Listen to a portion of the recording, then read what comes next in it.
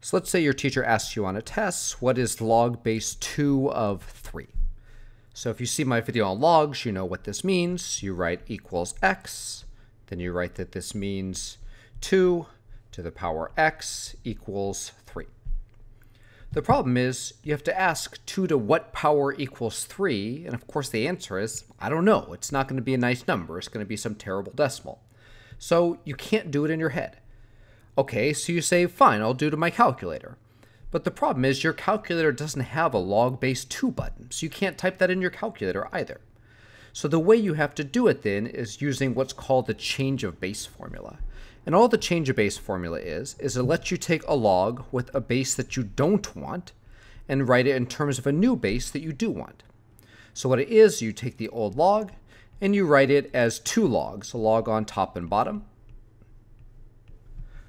on the top, you put in what was on the inside of the log before. So in this case, that's 3. On the bottom, you put in the old base, right? So our old base was 2, so you put that in there. Now you may have noticed that I didn't write any bases for the new logs. And the point is, you can make it whatever base you want. You literally could put any new positive number there, and it would give you the same answer. So for example, if I wanted to, I could write log base 5 for the bases. Of course, that doesn't really help me anymore because my calculator doesn't have a log base 5 button, so normally you wouldn't do that. Instead, what you'd put is something like 10, right, since your calculator has a log base 10 button. And then that you can do, right? You can type into your calculator log base 10 of 3.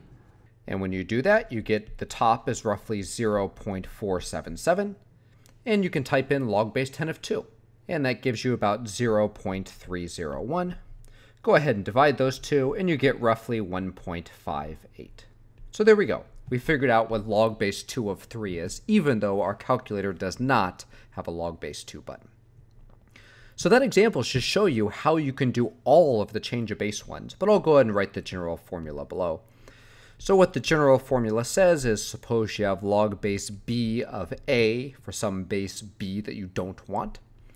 So you can rewrite this as two logs, just like before. On the top, you put what was inside the old log, so an A. On the bottom, you put the old base, which is a B. And then remember, we can make these any new base we want, so we call that C for any new C that we want. And there you go. That is the change of base formula. All right, I hope that makes sense. If you have any questions, please go ahead and leave those in the comment section below, and I'll be sure to get to them. Thanks, everyone.